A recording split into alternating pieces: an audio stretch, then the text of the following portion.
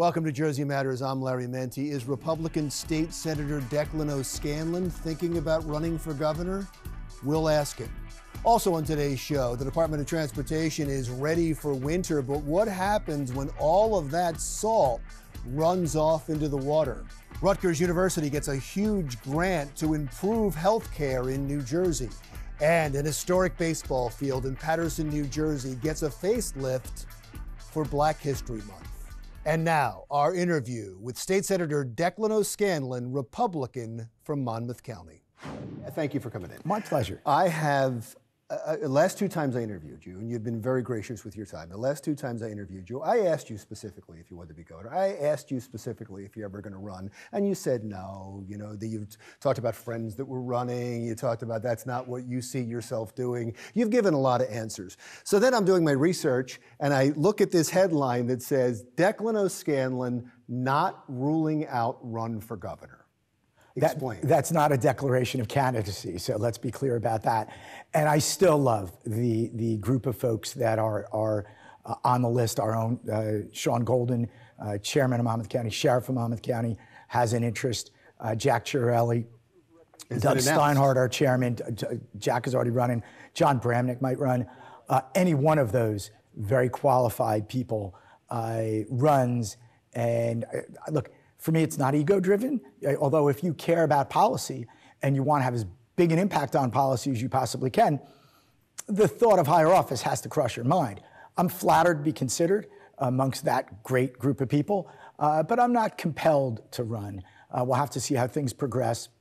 But I really love being in the Senate. I think I found my voice there. Uh, so uh, the odds are not high. Uh, but I'm flattered. Uh, I will say your name is mentioned a lot. Your and name is mentioned as someone who should run, which is flattering to you. But I'm not sure it enhances the credibility of the people mentioning it. But well, that'll be another. Oh another no, segment. no, it's it's pretty widespread. But it, but most people are already doing their due diligence. Most people are already looking for fundraising or talking to county chairs. Have you done any of that? There's been a few discussions. Uh, again, flattering discussions. But no, we're not gearing up to run. So uh, the discussion. It's unlikely that I'm going to pull that trigger. Uh, are there a few things policy-wise that could happen? I suppose, but it's not a high percentage likelihood. It's likely that our uh, field will be the folks I just mentioned, and I'll be very happy with that. Uh, look, for me, if there was a deficiency, a policy deficiency in the people considering running, I would feel much more compelled to do so. Uh, but between that, that, that group of, of, fine gentlemen, and God, it'd be great if, if a Republican woman would jump in too, uh, we're going to be well served by whomever in that group uh, becomes the, the candidate. If things change within the field, if a few other things maybe happen politically, is it still remotely possible I'd run? Remotely. We had two of them on recently. We had Jack Ciattarelli and Jon Bramnick on, actually in the same in the same show. And it was interesting, we were talking about um, the vaccination fight and how it fell apart. And uh, there was a feeling that um, President Sweeney might have lost some power in that, that he, he wasn't able to hold together a coalition to get it past the finish line. Anytime you have a battle like that and your legislation, your backing as a legislative leader doesn't succeed, there's, there's a question. Uh, and there is some diminishment of power. But that's what political capital and power is all about. You build it up not to stockpile it and have it forever. You build it up so you can use it to push uh, valuable legislation that you think is important. Now, I disagree with Steve Sweeney on a lot of things. I was a vote that came around on vaccines. That bill failed. We're looking at some other options and meeting with people on both sides, great folks on both sides. Uh, just yesterday, I was my, my schedule was filled with people uh, on both sides of the vaccine issue. But getting back to your power question, you, you build your political capital and your power so you can invest it in what you think is good policy.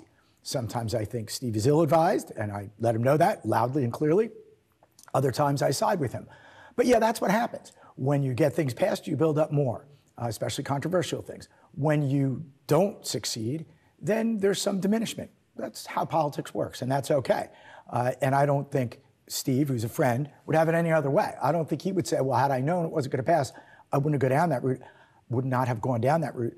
I think he genuinely believes this is a, a an issue about children's health and their very lives. I think that's sincere on his part. I know a lot of the public or who's opposing the bill doesn't believe that. I do. And Joe Vitale, the, the prime sponsor of the bill, I've had extensive discussions with these guys. I know my motivation is purely about children's health.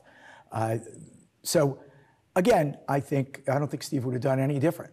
I think he genuinely believes that it was about children's health, and yeah, he, that that first round failed.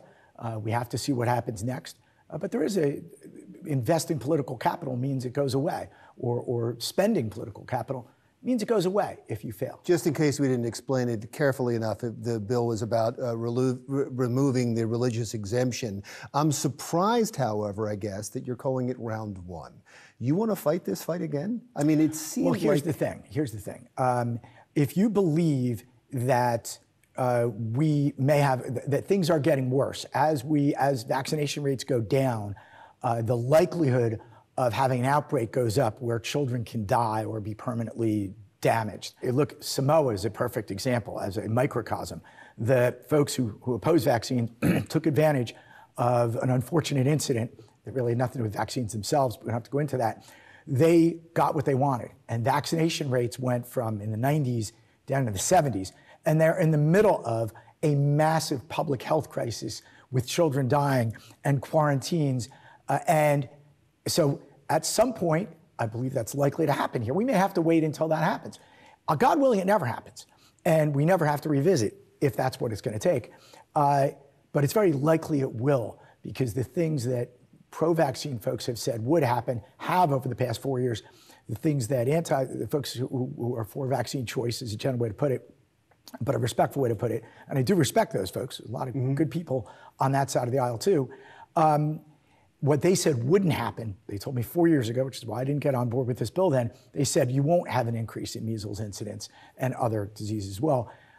It did happen. We have seen uh, dramatic increases. Pockets, right? I mean, well, we went from 82 cases back in 2016, which is when this bill was first discussed, uh, to, and, and I, I, didn't sign onto the bill then because it was 82 cases, a disease that should be eliminated, but okay, it's only right. 82 cases. 17, we had around 150. 18, we had around 350. Last year, we had almost 1,300.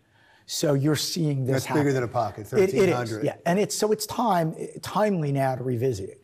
If we can't get consensus, bring people together and get enough votes to pass a bill, then we wait and hope the tragedy doesn't happen. If tragedy does, then those legislature, legislators who stood against it will have something to answer for. I know you have a bill to, to prevent scamming of the elderly, especially elderly with disabilities. I know you have a position on fixing the lead pipes, and you've come out against the Energy Master Plan. So if we can squeeze all that into the next segment, I'd like to talk to you Happy about to talk about all those When things. we continue our conversation with Senator Declan O'Scanlon, when Jersey Matters comes right back.